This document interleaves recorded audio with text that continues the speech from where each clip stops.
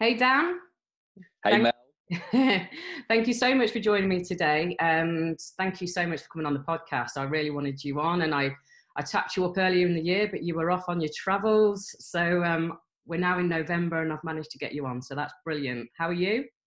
I'm very well, thank you, and thank you for having me. It's a it's a pleasure and an honour to be here. thank you. Um, so just a little bit about Dan. I met Dan um, probably getting on for three years ago in London at a get together. And um, as per some of my previous podcasts, me and Dan are both in SFM, which is Six Figure Mentors. And that's an organization that helps people change their life in terms of looking for alternatives.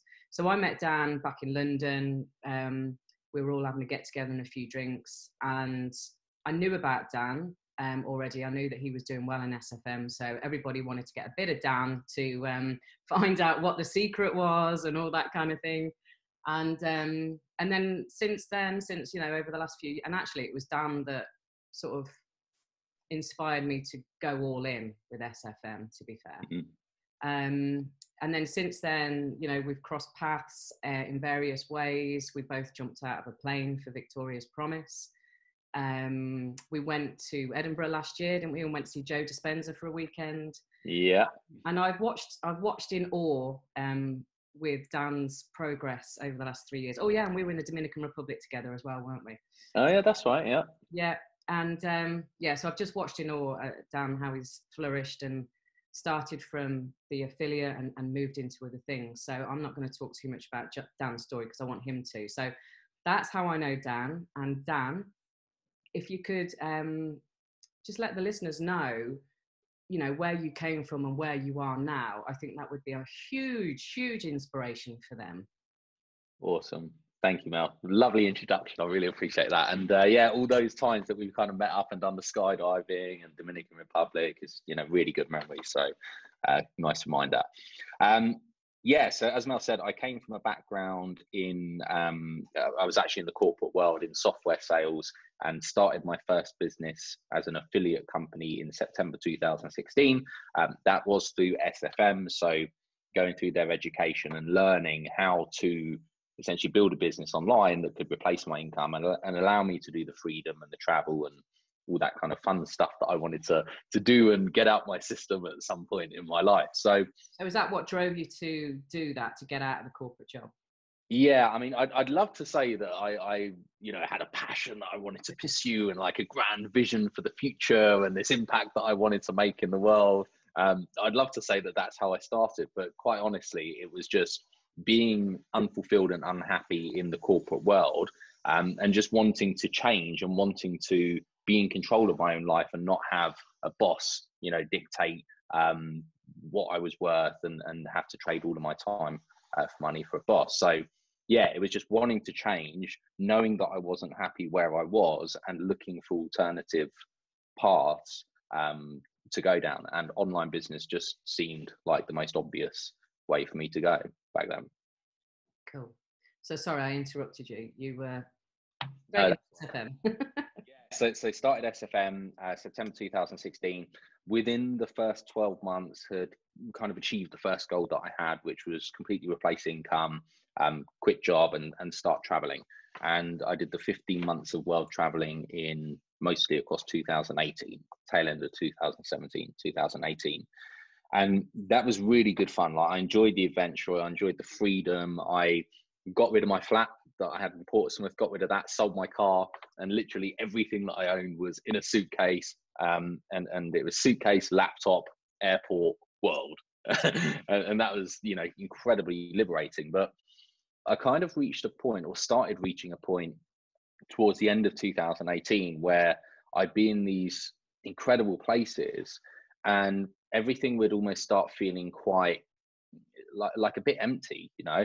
And I remember this time I was in Halong Bay in Vietnam, which is just it's one of the most beautiful places on planet Earth. It's oh, wow. it's phenomenal. There's like these they're almost these upside down mountains, like greenery down the side of them, crystal blue water, and there was a whole load of us that were um, we we were kayaking through Halong Bay, like incredible place. Yeah. And I remember catching myself almost feeling I don't know if bored is the right word, but but just it was just like you know another day in paradise, and, and I remember thinking like, oh my god, like how how dare I be feeling massively appreciative of what I'm doing right now, and it got to the point where the the travel and like these awesome adventures had kind of become the, the norm, and that was the new baseline.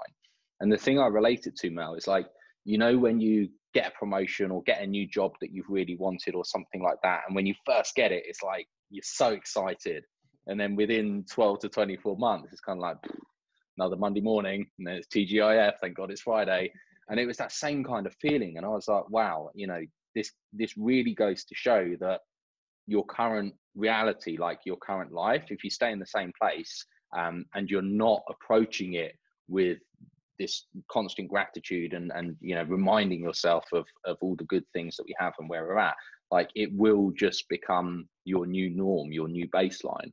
So that for me was a really a second um, kickstart to to start focusing on what is the bigger impact that I want to have? Like what is the the deeper um, level like the meaning and everything that I want to begin focusing on in my life? And and that's kind of been really what set the scenes for the last two years um, till to where we are now, coming into the end of 2020. So, yeah, it's been it's been an awesome journey.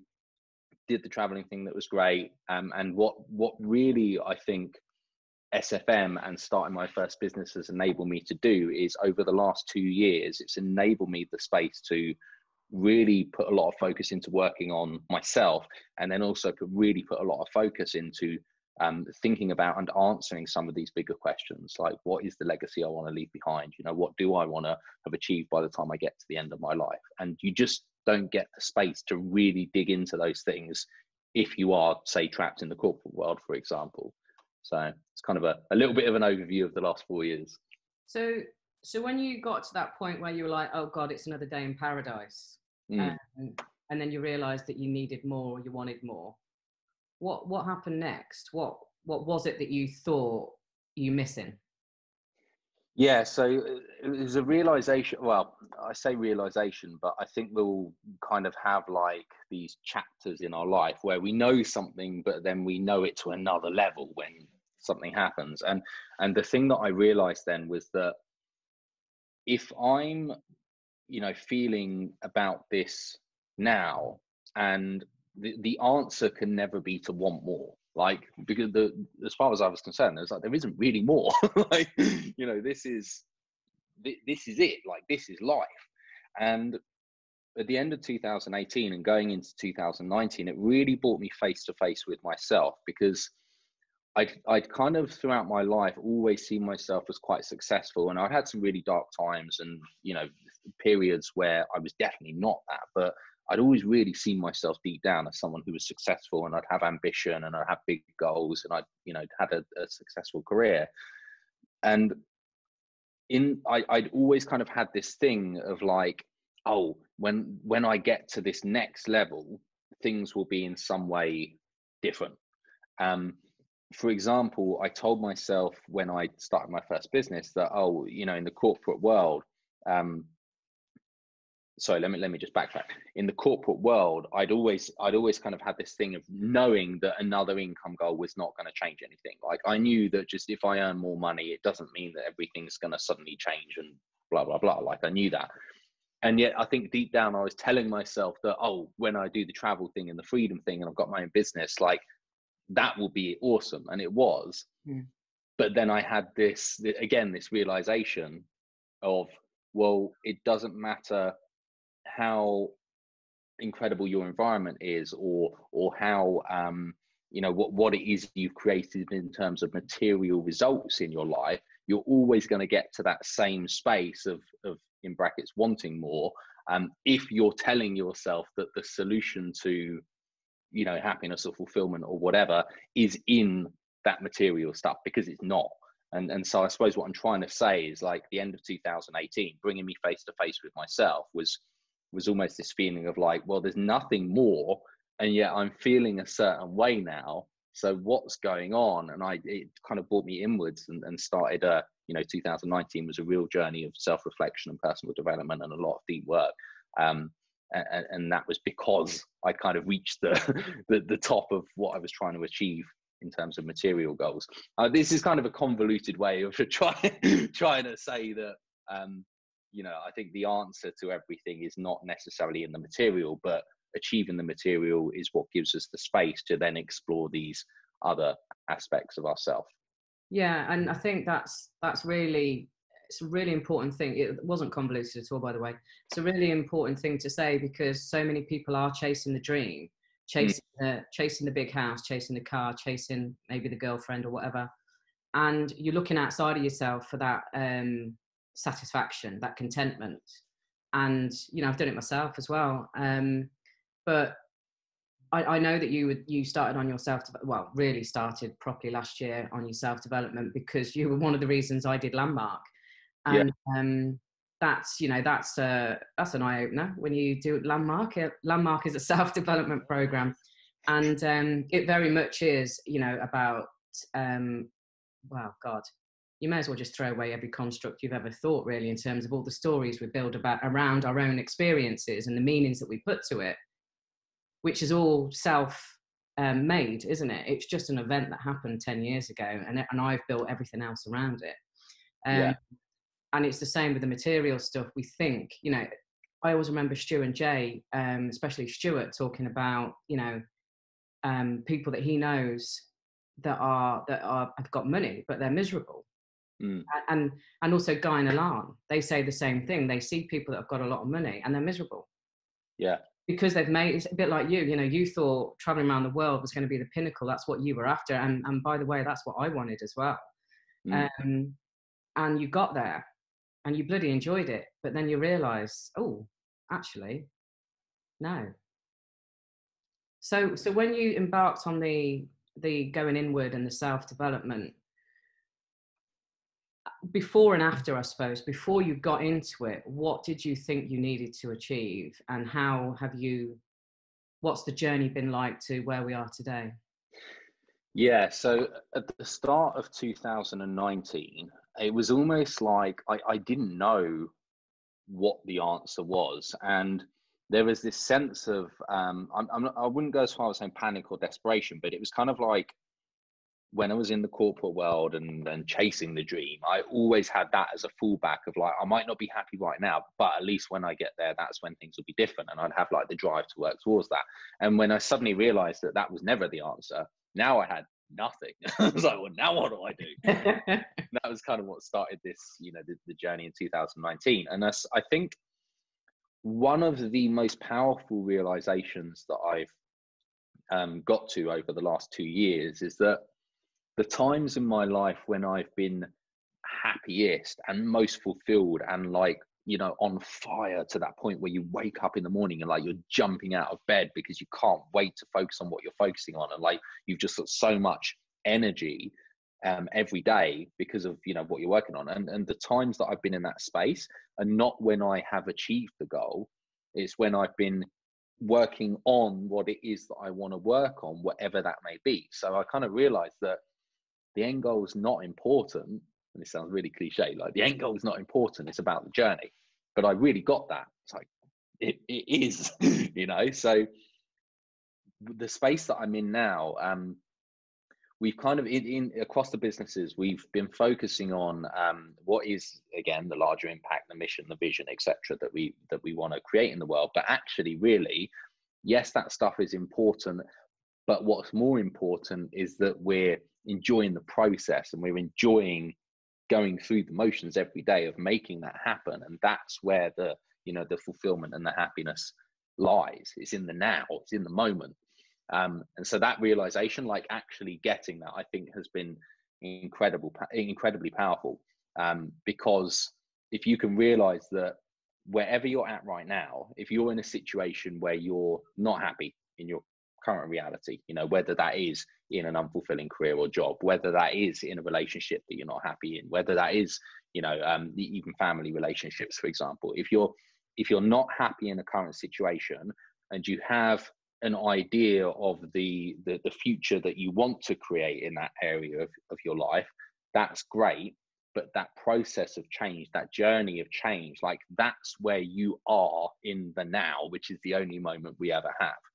And so for me, like being on that journey, that's where I'm always happiest.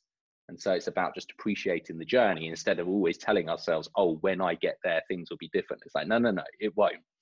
Now things are different if you decide that they're different and you decide that you want to be a different way. You want to be happy. You want to be fulfilled in the process of what you're doing.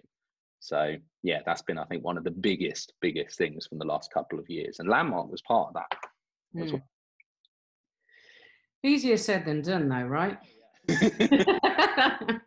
oh, I'll just be happy, no problem. so, so, when, so what are these other businesses? I know, I, th- I think I know I've seen something around a property thing or something, but what what are the other businesses that you're doing? Yeah, so at the moment we've got Scrap the Nine to Five, which is the the original main company. Um, started purely as an affiliate company. Um, now we've got like we've got several different affiliate partnerships. We've got our own stuff that we do in Scrap the Nine to Five, and we're really developing out the front end of that with lots of different offers and and um, uh, key partners to help people scrap their nine to five, regardless of who they are, what their strengths are, what path that they want to go down, because we've realized that everybody's different and not one path is going to fit every person. So we're kind of building this this uh, way for people to identify what is the most effective way for me to scrap my nine to five, replace my income, and so on. So that's one. Um, another one which is now starting to pick back up after COVID is Bamboo Bar. Uh, it's an eco-friendly deodorant, um, the bamboo deodorant. There's vegan, it's non-harmful chemicals, all natural deodorant uh, product, and we've got a new supplier for that. Uh, which how did, you, how did you get into that deodorant? So, so that was in uh, in 2018 actually during the world travels i ended up going to guangzhou in china with import experts which is uh, dea sfm and we were we were doing it was me and a few people who were part of like a mastermind that I created called Ignite, and we were trying to see if we could build a company by leveraging everyone in the mastermind's individual skills because some people were better at you know certain things and other people were better at other things. So we thought, could we bring together a, a team of, of startup entrepreneurs and then from that create a company just in our spare time? You know, it's kind of like a passion project. Um, and Bamboo Bar was the idea that we settled on because we wanted something that was cause driven and that would have a positive impact in the world. Um, so we kind of created this model where we plant trees and it was obviously completely eco friendly and everything as well. Um, and that was the product that we ended up creating. So we got uh, first thousand units that should hopefully, you know, once we, we, we get them filled, they're in the UK now, but first thousand units should be going on sale quite soon with Bamboo Bar.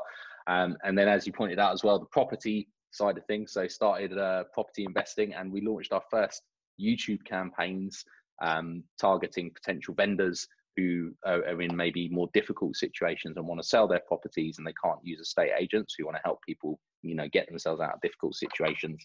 Um, there's a property brand that we just launched as well to do that. So lots of different things on the go at the moment. Well, on, in terms of the bamboo deodorant, so I I only got into natural deodorants probably about I don't know, uh, twelve months ago or so. So yeah. that, that's uh, I'll be interested to have a look at that when when that's gone live. Um, and the property side of it, I know. So what I know what you're talking about because that's something I did. I got involved with the Wealth Dragons. I don't know if you know them, John Lee and Vincent Wong um, back in 2012, and um, that what you're talking about is what they were um, offering, uh, you know, promoting. Yeah. And um, it all seemed. I thought, yeah, yeah, this is cool, this is cool. But then I was just like, I don't know, it just never, it just never felt right for me. So I'm just interested to know.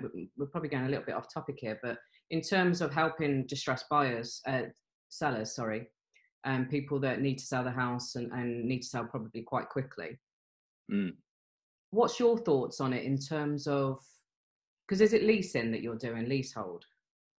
And um, there's there's 61 different strategies that the company that I'm partnered with will apply to different situations. So so it's basically one one of their key things is it's not about the property, it's about the person. Yeah. And understanding their situation and then figuring out which strategy or which type of deal is going to be the right way for them to solve the problem that they're in. You know whether it's like bankruptcy or repossession that's imminent or whether they've had like a you know personal tragedy in the family or something like that and they need to shift the property quickly or you know mortgages expiring and their credit rating's gone through the floor and they're not going to get a renewal on their mortgage or whatever. Um, and so it's about taking that that situation and looking at you know do you structure deals where there's maybe future options um, to buy and you're not you're, you're actually doing the deal based on an option instead of doing the deal based on a purchase price now? Or you know below market value deals which are obviously you know people who need the cash right now that would be a route that they might want to go down. So yeah it's about applying these different strategies finding the one that's right for people um, in their unique situation. And um, we, we're doing that through you know our investor network. So I would say, Mel, like, because it's funny you mentioned in 2012 you were checking this out as well, because I was about the same time, probably it might have been 2013. Um, it's about seven years ago, yeah. and I, I went to a seminar with a company called Tigrent, which is a subsidiary of the Rich Dad um, companies. And same kind of thing. I was like, I get it, it makes sense. wasn't really the right time for me. Um, didn't end up going down the property path. Went down the online business path. But I think it's about you know if the intention's right if you want to help people you want to make a positive difference then you can use a skill set you know in that way to to help people move forwards. Um, so we'll see. Still very new still very early days um, but we'll see how the uh, how the property side pans out. Yeah interesting because tigrent used to be before it was tigrent it was russ whitney. I don't know if you know that. No i didn't. And and russ whitney is how i got into property back in 2003 and they were talking about lease options even then.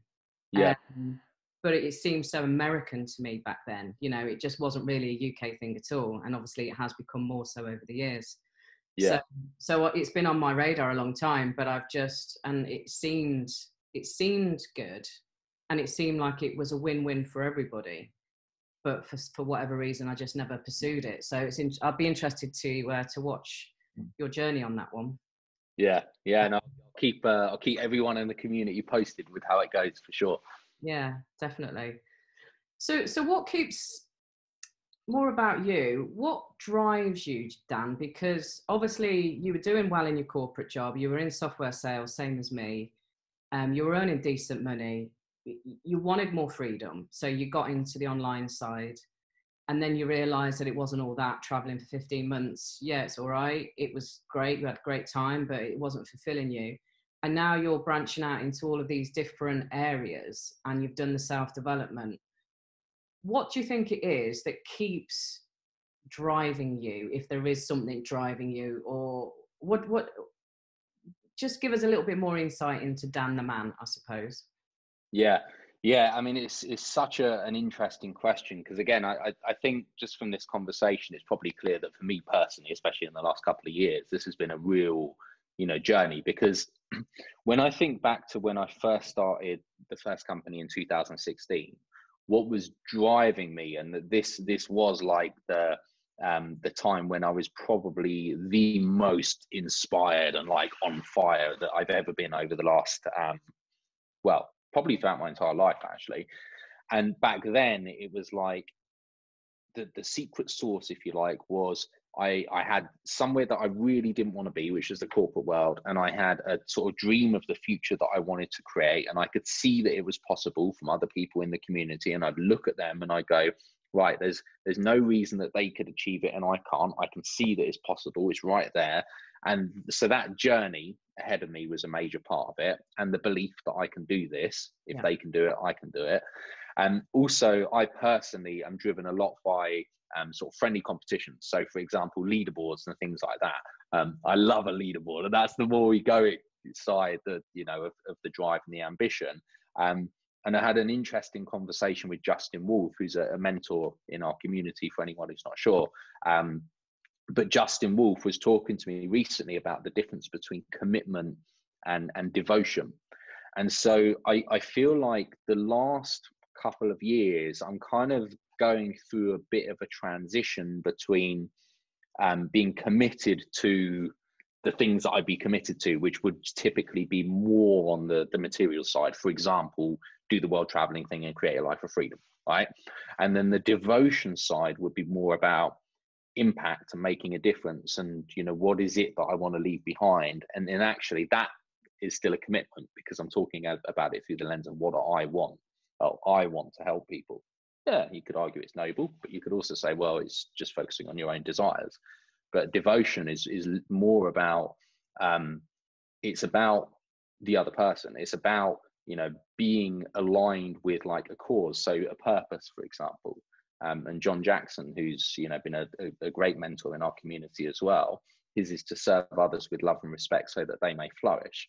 And he's devoted to that purpose statement, and that's how he shows up every single day. And so, to kind of bring it back to your question, Mel, I feel like this the thing that's driving me is is changing at the moment. Like I'm in, I'm, I feel like I'm going into this next chapter where where it's about becoming more aligned to something that's far bigger than me um, compared to what I've been driven by in the past, which is more the commitment to, you know, goals and stuff like that.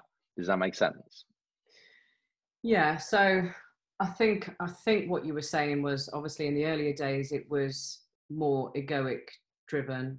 You mm. then you then realised you weren't fulfilled, so then you you look you started to look inside because you wanted to feel more and it to mean more. Yeah. Um, and although you've still got the, the businesses that are coming you know from that ego and, and from that desire to succeed you are also now looking more to serve others. Yeah as opposed to i want to help people and feel good about it. But what you're saying is yeah that is part of it but it's it's sort of two steps ahead of that Kind of, yeah. It's it's like that. I've, noticed there's an interesting balance between the two because I've I've always over the last four years put a huge emphasis in giving back through Learn Do Teach, or it's called Learn Do Share now in our community.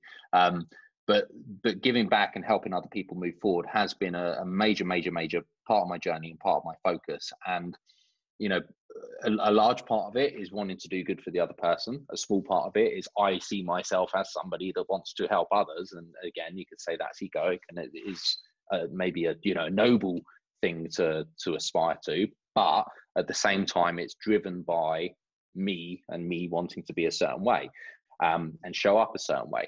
And so that the balance that I'm really starting to see is, I think, um, commitment for example, I'm committed to helping people making a difference would be more along the lines of because that's who I see myself as, that's the type of person that I am. And so I want to be that. And that's how I'm, you know, going to show up every day. But then devotion, from what I'm understanding from Wolf, is is more about like there is an ideal or a purpose or something that is just it's it's how you show up and the byproduct of that is for example the value that people receive. Now i think the balance is drive seems to come more from the commitment and and devotion is just like it's a state of being. And it's like you know how you're just showing up every day naturally because that's that's you know what, you've aligned yourself with. Um i i think pure devotion without any drive maybe i'm not well i'm not sure because i don't think i'm fully in that space yet but pure devotion without any commitment maybe would be a different type of drive. It's just like that's just who you are um, but the commitment aspect still gives the more goal focus the ambition side. I don't know i think there's a combination of the two of them and i haven't quite figured it out yet but work in progress yeah, yeah, it reminds me actually because you know, um, so friends of ours, Andy Wilson and uh, Tiffany Lark, they've produced something called the Polaris Game, and the, there's the be, it, there's the do have be, the have do be, or the be do have, mm-hmm. and it, it's similar to what you were just saying. So the the have do be or the do have be is very much action. I've, I've got to have this and do this to be this way or i've got to do this to have this and then i'll be happy. Whereas if you come from a place of being if you if you are happy in your skin if you are happy being and you're being the person so we have like in the game it's called super identity. Mm. um, and that's the person that you want to be on a day to, you know like you talked about jj you know that's what he's living his day-to-day life um, by if you are being who you your super identity is every day, then like you said, the rest just comes as a byproduct of that. Yeah, it's like I mean the be do have or have do be is a, a, perfect example of this because in my young years, corporate corporate world, it was um, when I have this, then I will, and and I'm doing that, then I will be happy. Yeah. Right? Have do be, and then um, after landmark, I was like, oh no, that's the wrong way round. It's it's be do have. You know, I'm if uh, if I'm being happy, I'll be doing this, and then I will have that in the future. But it's about being first. Yeah. And I've had this whole internal conflict where I was like, well, but just the being without you know, if I'm discounting the more the material side of things, and I'm just like, okay, well, I'm just going to be what I want to focus on is being a certain way or showing up a certain way. That was taking away such a major part of what lights me up, which is I like I love the you know the pursuit of things. Like that's where I'm happiest when I'm striving towards like making something happen and growing and moving forwards. Like I love it. So I think it's an amalgamation of the two. It's like for me personally, if I, when I'm being fulfilled and happy and and and that's the space that i'm in every day a large part of that is that i am what i'm doing is striving towards you know a goal that i'm aligned with and i resonate with and i'm working on something that you know lights me up. And i've got like for example my sights on a competition of oh i want to you know achieve this result or like sales leaderboard would be a great example of that. And that's when i've always felt the best. And so the amalgamation of those two things of um, be be do have versus have do be um, is almost saying okay well for, for me to be inspired and be lit up it's when i'm striving towards a have but it's not about the have. The realization is the have doesn't matter. It's just about the doing that's in that space when i'm striving towards the have. So it's kind of the, a combination if that makes sense. Yeah. Okay no that that's really interesting and it's funny how we all evolve you know and it's a constant evolving isn't it? You know i think i mean i'm older than you and you know what what probably pisses me off if i'm honest is that um you know i started you started before me in sfm and and just listening to you then you know you're driven by leaderboards and the competition and all the rest of it even though i've been in sales over 20 years that kind of stuff never really floated my boat so yeah. that never really motivated me. And I and when I found SFM, I was like, this is it. You know, this is this is finally it because I've done so many different things over the years, and it didn't work. And I have to. And and then obviously I did the landmark stuff and everything last year, and, and I've done other things. And and now I'm I'm I'm doing my coaching, which is which is very new and, and is about to launch and that is something that is purpose driven that is something that is more devotion than commitment if you like. Yeah. Um, but there's still that that ego part of me that's like damn it you know when i've seen people like you that have that have done it you've made it you made it you know whatever that means. Um and i knew i could have done it you know and i was i was having some success but it just wasn't constant enough. And then and then I let it sort of fall by the wayside, although it's not fully gone. But it's, you know, I suppose from the listener's perspective, because there's people out there that haven't got a clue what they want to do. They haven't got a clue. They're miserable where they are, but they haven't got a goddamn clue what their passion is, um, what their purpose is, whether whether they can even take on something like an online business or or whatever it might be. Um, so, what would you? Because we were both given the same opportunity and you flourished and i had a little bit of success but but then sort of didn't and obviously that's all down to personality that's all down to different people it's all down to different motivations and life circumstances and everything else in the mix but mm. i suppose for somebody that's listening now that's thinking about maybe making the jump making a change whatever it is what what do you think you could give, say to them now that would really sort of help and inspire them and, and give them the, the belief actually the self belief that they can do it? Yeah. Yeah i think that for for me um the thing that made the biggest difference in the early stages is I I made it so that I had no choice to but to succeed, and it was just a combination of all sorts of things. So, firstly, it was why do I want to do it, um, and I looked at what will my life look like for the next 20 years if I stay in the corporate path versus what will my life look like if I go down this path, and that for me was like this is not an option. You know, if I stay in corporate for 20 years and I feel this way for 20 years, no way, like not happening and there's other people that are doing that. I want to create that. I can do it if they can do it. This is super important to me.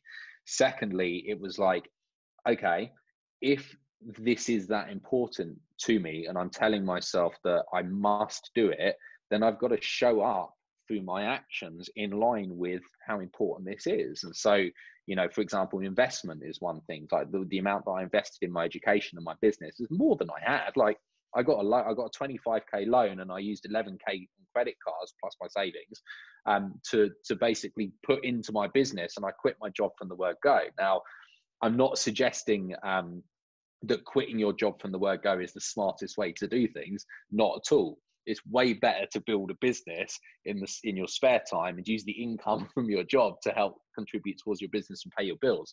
Like that makes way more sense. The point is though that however you do it, if you're telling yourself that it's super important, you have to show up in line with that. You know, if your life was on the line and this was do or die, how far would you go to make this happen? And so that for me, it just it just put myself in a situation where I had no choice but to succeed. Like I must. That's it. It's simple as. So it's the why combined with the physical situation. So I it is scary as hell, you know, when you're in that space and you're deciding, do I really go for this or not? Because we'll get the what ifs, like what if I fail? What if this happens? What if that happens? What if I run out of money? And so I, I think the third thing, and this was a journey, like it didn't happen instantly, but the third thing was just finding a way to have faith and trust that it's going to be okay. Because whatever happens right whatever setbacks there are whether you know we do run out of money or this happens or that happens or whatever whatever the setbacks are if we know that we are super committed to making that happen and we're never going to give up no matter what happens we will either succeed or we will die trying. That's it right so if we succeed will it matter that along the way we ran out of money once and then solved that problem and then eventually succeeded? And the answer is no, it won't matter what happens on the way.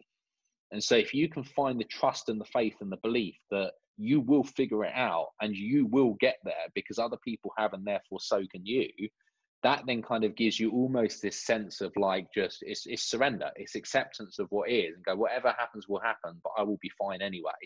And for me, it was looking back over my entire life at all the challenges that I'd ever faced and realizing that I'd overcome every single one of them because I'd got to where I am today. And for everyone who's listening to this, you are exactly the same because you wouldn't be listening to this if you haven't, right? You're fine. it's all worked out. You successfully got here. And so, therefore, you will successfully get there. And if you can realize that and just go, whatever challenges you face are part of the journey, it kind of gives you this sense of like, all right, I'm focused on going there. I'm going to make it happen. I know it's going to work out right. Let's go. And then you just go and you just do it and you just take action and you're just in the moment and doing the thing that you need to do to move forwards. Kind of it. Yeah. Um, no, that, I mean, that's brilliant. I, I know that in the in the past, like before SFM, I wasn't working, and how you experienced it was different for me. I got so scared that it was almost debilitating. So I didn't succeed in, in that either. Um, so I, I, just wanted to say that because for people, I mean, not that you're advocating that people quit their job and, and go for it. Then not, you're not. I know that. Um, but it's also it can affect people in different ways as well. You know, it, it sort of paralyzed me because I it didn't make me very productive because I was constantly worrying about the fact that I didn't have any money coming in. So.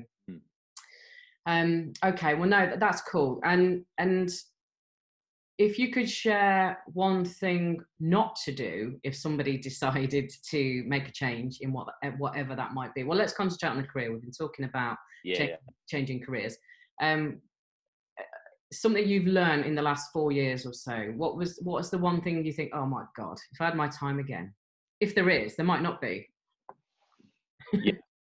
Yeah, so I think if if one one bit of advice that I would I would give is that it's it's simultaneously one of the hardest and probably one of the most straightforward things that we we can do is to we've got to stop listening to the little voice in our heads right? Because the little voice in our heads um it's it's there evolutionarily. It's there to protect us and keep us alive and keep us safe. But unfortunately keeping us safe means keep us in our current reality our current situation what we know.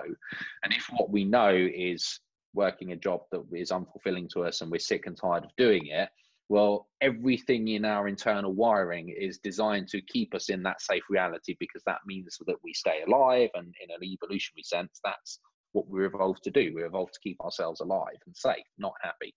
Um, so if the little voice in your head is telling you all the reasons that you can't all the reasons that you shouldn't look one of the most powerful exercises is to have an internal dialogue with yourself and actually question it and prove it wrong right? I, I would use logic to to prove that that was it just wasn't real. like all the stuff that I was telling myself was not real, and so I would almost say learn to question everything and learn to trust in the process instead of trusting that that's yapping away in our brain. So very very hard to do in principle. Um, but if you can do that, it's going to make you it's going to give you the ability to move from your current reality into a new reality. Because until we can make that journey, and as long as we're listening to that, that's always going to keep pulling us back all the time. What we have to do is let that go and get past that and trust that even though that's there, we've got to move forwards and take action anyway, however that looks. Um, so I would say just have awareness of what that's saying and have the awareness to not just accept everything that it says as fact, if you can do that and you can start to question it, it starts to give you the ability to supersede your own programming, which is what you need to do to change your current reality. Brilliant. Yeah, that makes a lot of sense. Um, and, and, finally, just if somebody was to, if you were to advise somebody to take a baby step to, to, to even walk in that direction, if they're, you know, if they're teetering on the edge and they know they want to do something, what could that baby step be? Yeah, I, I would say if if you have again, it goes back to the why. If you have a reason why there's something that you want to achieve, and your why, whatever that is, um, is important enough that you you need to make it happen. Just taking a baby step is is so so so powerful because momentum builds as soon as you start the ball rolling, even if it is just something so small and so simple and so straightforward that it seems insignificant, you just literally go, okay, well, what's one tiny thing that I could do right now that's going to move me closer to that? And then what's the next tiny thing that I could do? And then the next tiny thing. What happens is we start it's like you you know you've got 10,000 steps in front of you but fog's covering them all 10,000 steps up the mountain. You take the first few steps and then the next few steps become clear and then the next few steps and then the next few steps. And so again realize if you're in a space where um, you're like i have no idea how to get to where i want to get to whether that is in getting out your career or whether that is in a new relationship or, or whatever like if you don't know the how that's fine because that's part of the process and we don't know the how because if we knew we'd already be doing it. So if you don't know the how just ask yourself okay well what's one tiny little thing that i could just start doing that's going to move me closer than where i am now? Whether that's go on youtube and watch a video that's going to teach you something that you don't already know in the area that you want to um, move forward or whether it's just you know invest a little bit of money in sort of some education in that area or, or, or a mentor or, or join a webinar or whatever it is just do something and things will start to open up as you begin that journey. Oh yeah. Brilliant. Well thank you dan. Thank you so much for your time because i know how bloody busy you are. Um, so uh, i really do appreciate it um, so if people want to reach out um, and find out more about you, obviously there's lots of strings to your bow, but where where could they come out and find you hanging out and, and talk about your bamboo as well? Because I'm interested in that. Yeah, sure. So best place to, to look online is just go on my YouTube channel. So just type Dan Holloway or Scrap the 9 to 5 in YouTube. Um, my channel will pop up and I, I, kind of put all of the videos that we do regarding what I'm up to at the moment tends to go on there. Um, we've just published five vlogs of a, a month long UK driving and golf trip that me and my buddy John did in September, which was great fun. Um, so yeah, look on YouTube and then Bamboo Bar uh, website is bamboobar.co. Um, so we're going to be updating and facelifting that website very soon. Um, and then the product's going to be launching soon as well. So yeah, should be able to, uh, to, to find everything regarding Bamboo Bar on there. Brilliant. That's great. Mel, thank you again, Dan. You've been an absolute legend as always. Appreciate you. Thanks for your time and, and uh, thanks for holding the space for me to talk all about myself. That's brilliant. Thanks, Dan. Thanks, Well. Speak soon. Bye.